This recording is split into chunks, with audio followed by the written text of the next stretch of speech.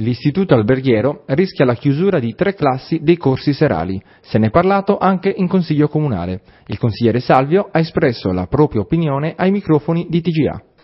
Veda, quello che sta succedendo per uh, l'istituto alberghiero di Alghero è quello che sta succedendo un po' uh, in tutte le scuole d'Italia eh, e la situazione può sorprendere solamente chi eh, è stato poco attento a quanto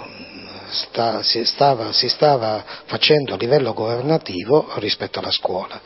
Eh, noi dell'opposizione abbiamo denunciato anche qui in Consiglio Comunale eh, come la logica eh, sulla quale veniva impostato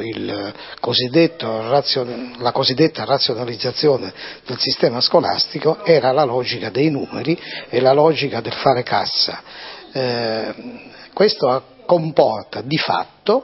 che ehm, la logica in base alla quale si vanno a formare le classi è ormai solamente il dato numerico. Eh, si, il numero, si, divide il numero degli iscritti per 27 e eh, il risultato della divisione è, è, è, quello delle classi che saranno attivate. Al di là di ogni ragione storica, di ogni eh, opportunità eh, di carattere sociale eh, che determinerebbe e determina senz'altro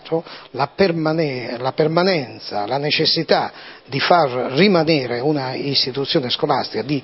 di mantenere una istituzione scolastica o cancellarla.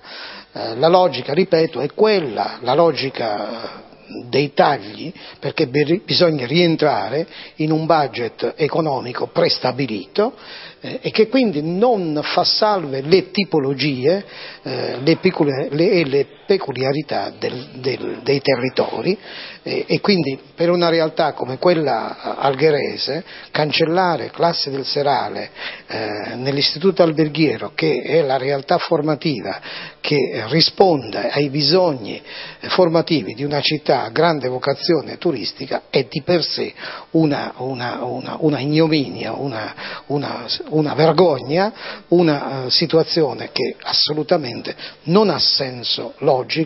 non ha uh, senso politico, sicuramente non ha significato sociale.